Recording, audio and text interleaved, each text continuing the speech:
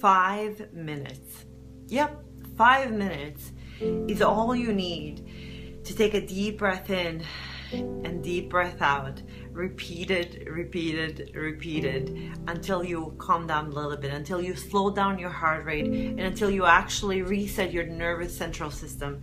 And what's really remarkable is that when you do that, you're able to see the whole world through a different lens. But how many of us are just simply now willing to do that? And truthfully, my friend, if you don't have five minutes to kind of recalibrate and come to your center, then you need two hours. And then we have a bigger problem. So, five minutes on your way to work, while you're putting on makeup, while you're putting on tennis shoes. That's all it takes.